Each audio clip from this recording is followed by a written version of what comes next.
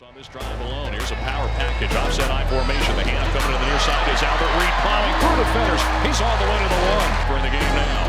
They'll fake the hand up. He wants to throw the near side. Croce reaches down and makes the catch at the ankles. Actually, that's Ringo Reed.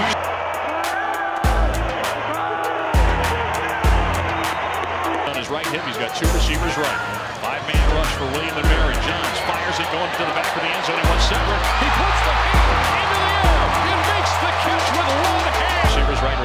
Left.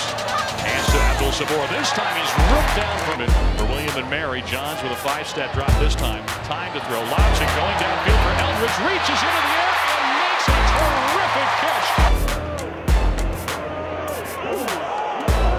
Backing up his Canady. He'll catch it in zone 25. He's got good blocking in front of him for 62-yard punt. Here he goes. Canady's off to the races across the 45. He's to the 40.